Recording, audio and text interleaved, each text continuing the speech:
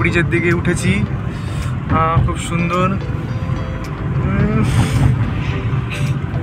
মাছের আষ্টে গন্ধ বেরাচ্ছে। ওদিকে বিচ কি সুন্দর। ওদিকে রাস্তা, কি সুন্দর। এদিকে আরও বিচ দেখতেই পাচ্ছেন। সুন্দর চারিদিকে।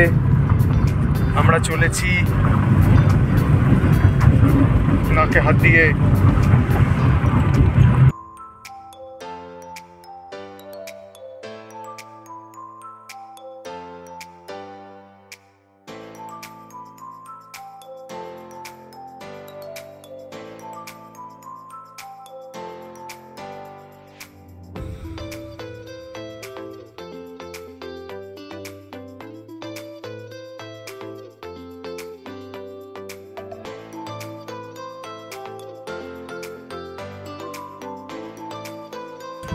তো দীঘা মেরিন ড্রাইভ যাওয়ার আগে পর্যন্ত আমরা এখন এসে গেছি তাজপুর সি বিচে তাজপুর সি বিচ দিয়ে হয়ে একটুখানি রেস্ট টেস্ট নিয়ে তারপরে মেরিন ড্রাইভ দেখতে দেখতে দীঘা পৌঁছাবো, বিকাল বিকাল করে।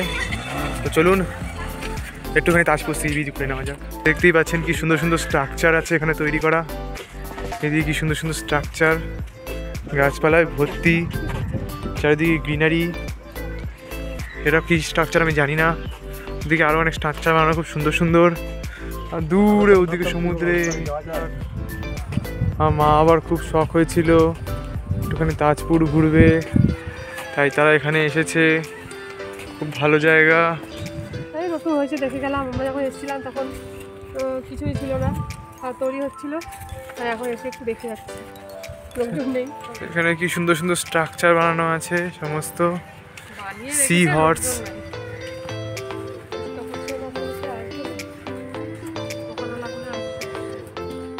তো এটা হচ্ছে গিয়ে মেরিন ড্রাইভ দেখতেই পাচ্ছেন সমুদ্রের কতটা কাছ দিয়ে যাচ্ছে। এটাই বলতে গেলে অ্যাকচুয়াল মেরিন ড্রাইভ। এই যে।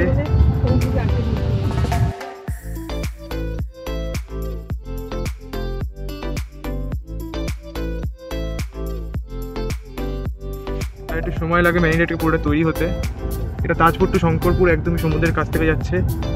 এক কিলোমিটার রাস্তা, মেরিন ড্রাইভের যেটা আদতে মেরিন ড্রাইভ বলা যায়, কিন্তু এখন না। কারণ কাজ হচ্ছে এখনও। এ- এখান দিয়ে আসল জিনিসটা দেখা যাচ্ছে, দেখতেই পাচ্ছে দেখতেই পাচ্ছেন চারিদিকে। সামনে কাজ চলছে। একটু তাড়াতে হবে আমাদেরকে। রাস্তাটা ক্লিয়ার হয়ে যাচ্ছে।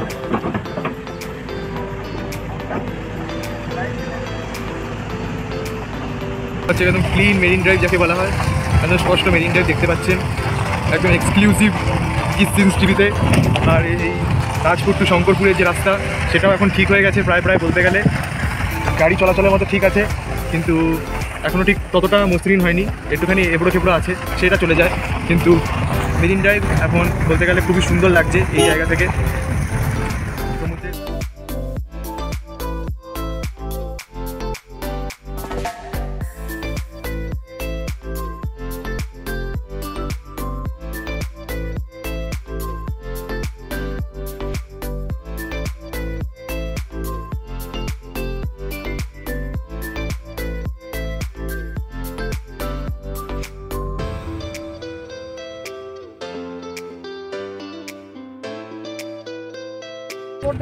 তো আমরা এখন শঙ্করপুর হয়ে পাচ্ছেন দীঘা টু শঙ্করপুর। আমরা শঙ্করপুর হয়ে এখন দীঘার দিকে চলে যাচ্ছি। শঙ্করপুরে আমরা দাঁড়ালাম না, কারণ এতগুলো জায়গায় দাঁড়িয়েছি তাই। এখন দীঘায় গিয়ে আমরা ডাইরেক্ট একটা হোটেল নেব, আর তারপরে সেখানে নাইট স্টে করে তারপরে কালকের জন্য আবার রওনা হব। তো চলুন পরবর্তী জিনিসগুলো কী হয় আমি জানি না কী হবে। তো আমরা এখন ন্যায়কালী মন্দিরের এখানে এসেছি। ন্যায়কালী মন্দির দেখে তারপরে আমরা যাব হচ্ছে গিয়ে দীঘার দিকে রওনা হব আবার। তো চলুন আপনারাও সবাই ন্যায়কালী মন্দির দেখে নিন। খুবই জাগ্রত মা।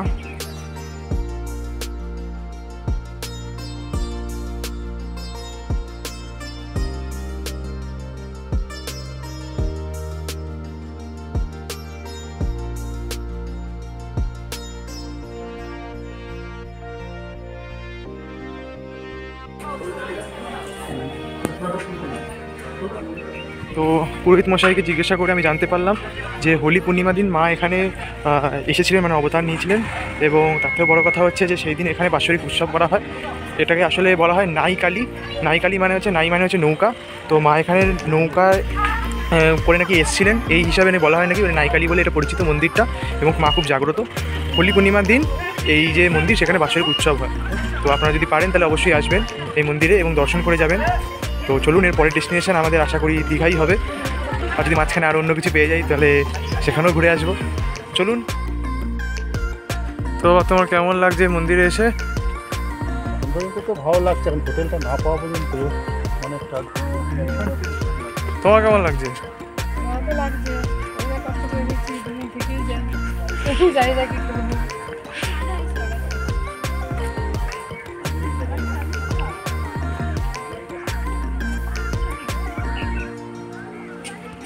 এটা হচ্ছে গিয়ে মানতের বৃক্ষ। দেখতে পাচ্ছেন সবাই মানত করে যায়। তো আমরা এখন দীঘায় পৌঁছে গেছি। এখন হোটেল খোঁজার পর্ব শুরু হয়ে গেছে। আমি আর বাবা মিলে বেরিয়ে পড়েছি হোটেল খোঁজার জন্য। একটা সস্তা কিফাইতি হোটেল আমরা খুঁজবো। দেখি খুঁজে পাই নাকি। যেরকম পাবো সেরকমই নিয়ে নেব। আপাতত থাকার কথা তো একদিনের জন্য, কিন্তু মনে হয় সেটা বাড়তে পারে একদিনের মতো আরও। তো সেই মতো করে আমাদের পুরো হিসাব টিসাব করে হোটেলটা নিতে হবে। একজন দাদা আমাদেরকে সাহায্য করছে হোটেলটা খোঁজার জন্য।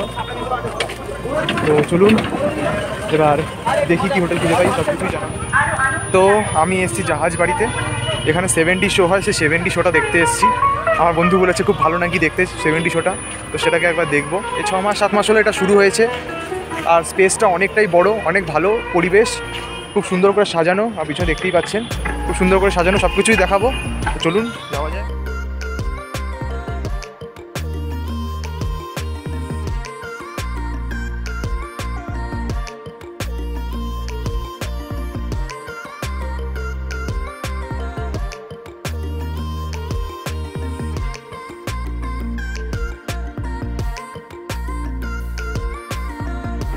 তো আমি সেভেন্টি শোতে চলে এসেছি।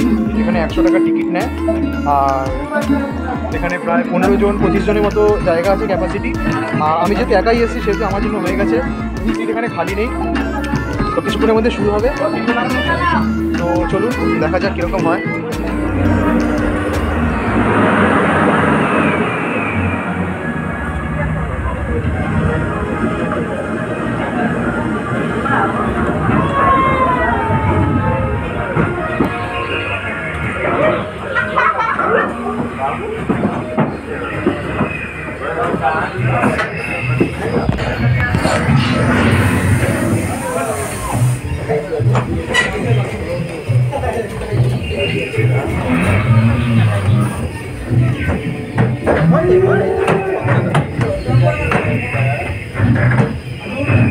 তো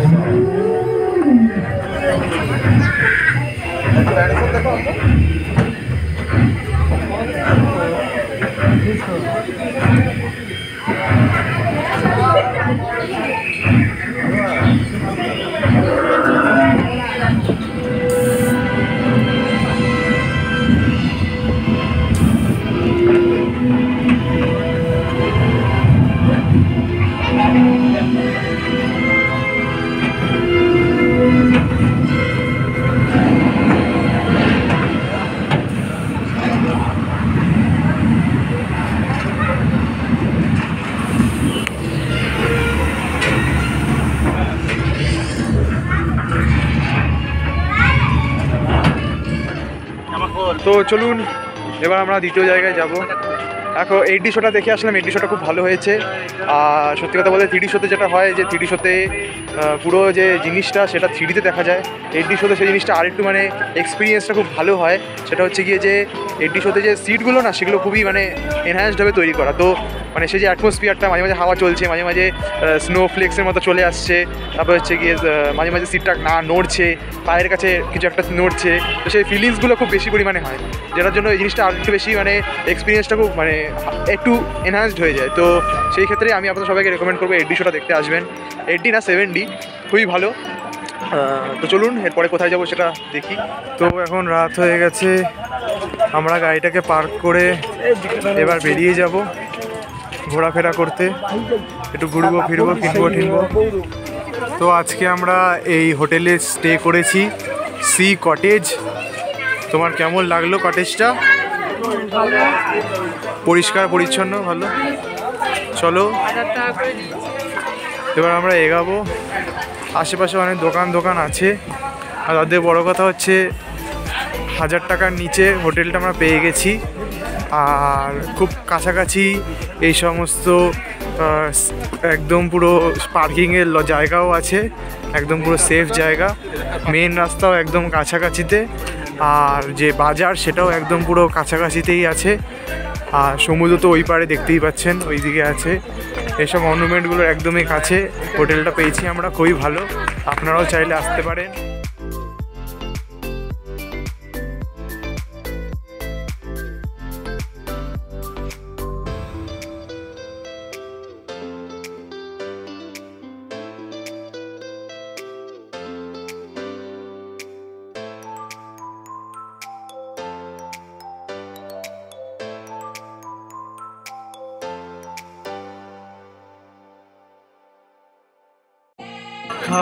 তো সব কিছু করা হয়ে গেল। এখন একটু ঘুরতে বেরিয়েছি একটু কেনাকাটা করব একটু খাওয়া দাওয়া করব। আমার মার খুব শখ মাছের চপ খাবে তাই একটা মাছের চপের দোকানে এসে উপস্থিত হয়েছি। তো আমার মার ইচ্ছায় আমরা এই প্লেটটা নিয়েছি চিংড়ি মাছের দশ পিস পঞ্চাশ টাকায়। তো খেয়ে দেখি কেমন। হ্যাঁ সাথে আছে হচ্ছে গিয়ে সমুদ্রের কত সুন্দর ভিউ হ্যাঁ? আমরা তো ভিড় দেখে গেছি।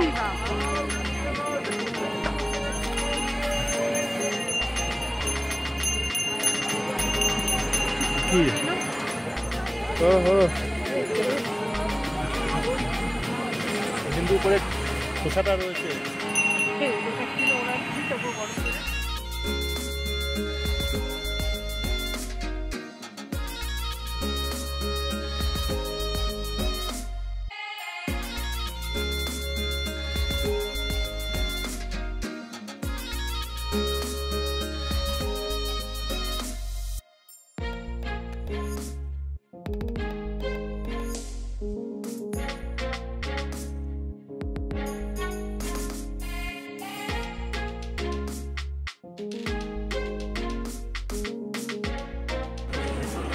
এটা হচ্ছে গিয়ে বাঁশপাতা মাছের চপ।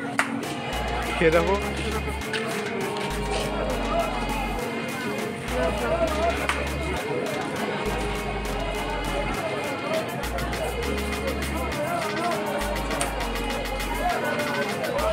কেমন লাগল খেতে?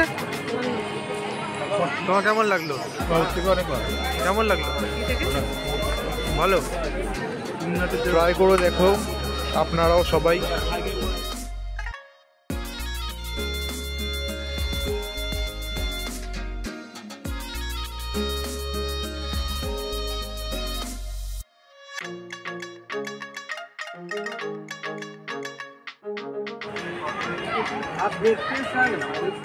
এখন আমরা এসেছি হচ্ছে দীঘার পাইকারি মার্কেটে। এখানে বেশিরভাগ দোকান আছে, সবগুলোই পাইকারি মাল বিক্রি করে। আর আমরা বেশিরভাগ মালপত্র এখান দিয়েই পছন্দ করি। কারণ এই জায়গাটা বলতে গেলে, একটা হাব বলতে গেলে, সমস্ত দীঘার যত বাইরের মালগুলো সব এখান থেকেই যায়। এটা হচ্ছে গিয়ে দীঘার ওল্ড দীঘা যেটা আছে ওল্ড দীঘার একদম যে মেইন যে টাউন সে টাউনতেই হচ্ছে গিয়ে এই মার্কেটটা তো আপনারা যদি আসতে চান, তাহলে আপনারাও আসতে পারেন। আর এখান থেকে কেনাকাটি অনেক কিছু করতে পারেন। আপনারা একবার দেখিয়ে দিচ্ছি মার্কেটে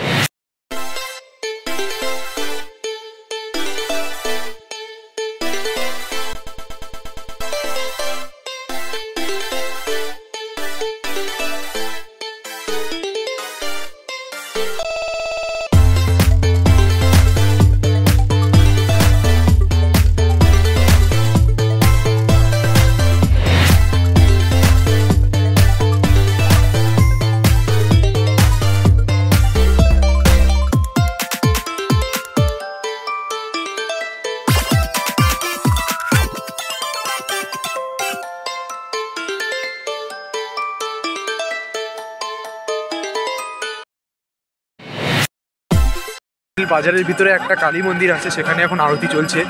তো চলুন, আমরা আরতিতে গিয়ে একটুখানি যোগদান করি এবং সেটাকে দর্শন করি।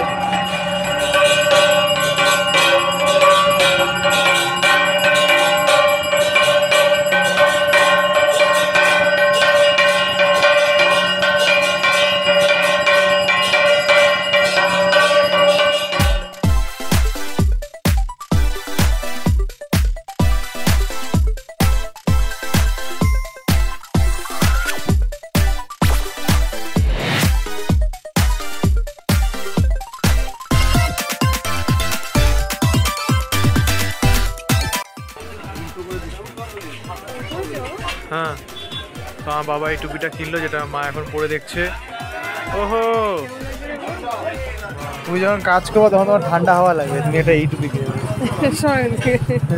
পাখা চলবে ভালো লাগবে। দেখো তো সাদা সাদা টাদা গুলো কীরকম তো এই মার্কেটটা হচ্ছে গিয়ে ওল্ড দীঘার যে ক্রসিং ওল্ড দীঘার ওই যে ক্রসিং ওখান থেকে সোজা যে ইন্ডিয়ান অয়েলের যে পাম্পটা আছে তার ঠিক উল্টো দিকে হচ্ছে গিয়ে এই মার্কেটটা।